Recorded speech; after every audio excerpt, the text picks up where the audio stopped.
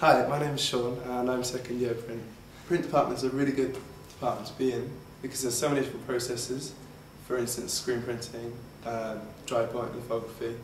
Um, it's also really good for opportunities because there's uh, things like the WAVE project, which is in Canada, international show, um, and Craft in the Bay shows, all sorts of things like that. Uh, but UWIC itself is a really creative and um, brilliant environment to work in.